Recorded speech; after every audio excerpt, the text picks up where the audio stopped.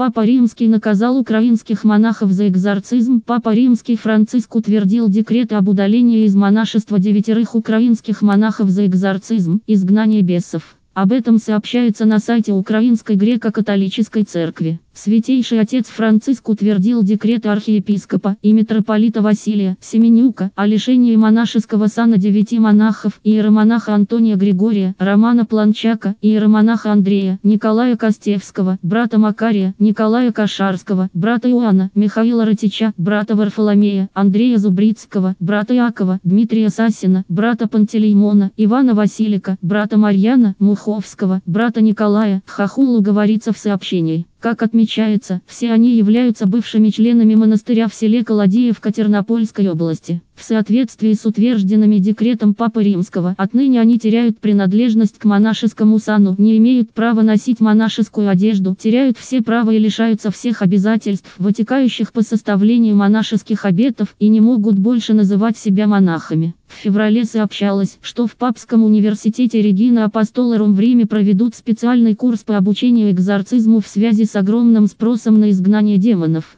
Первое в мире подобное мероприятие продлится всего 6 дней в апреле. Его цель затронуть тему, которая умалчивается и противоречива. За это время перед слушателями курса выступит множество экспертов. Больше важных новостей в телеграм-канале Лента Дня. Подписывайся перейти в мою ленту новость размещена на сайте вседоски.ком. Это бесплатный сервис по массовому размещению объявлений на десятки досок объявлений. Как продать быстрее? Размести объявление сразу на все доски объявлений с помощью сервиса вседоски.ком.